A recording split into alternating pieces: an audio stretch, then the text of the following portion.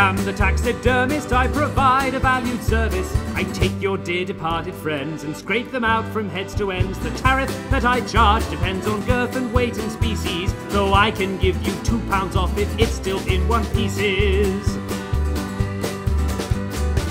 The taxidermist, I deal in epidermis, which is another word for skin. I pull guts out, put sawdust in, I place a loyal grin within the face upon his head now. Your kinship can rekindle even though his face is dead now. I am the taxidermist. It's best when flesh is firmest. I must begin before they die, or else their skin may putrefy. But it is quite alright to cry as I slice into Rover. Your tears can fill his water bowl until his life is over. When I was a lad, my dear old dad bought a puppy as a gift for my mother, and a small cotton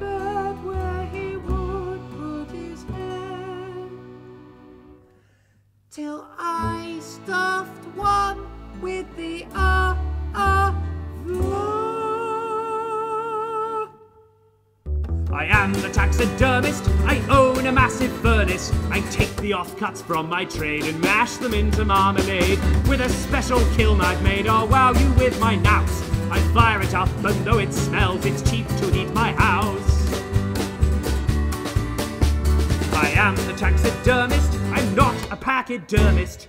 Elephantine intestines are a maze to navigate them takes ten days. Don't even ask me what it pays to slice the mighty husk. It takes from dawn to noon to dusk. Though ironically, taxidermy's easy with a tusk.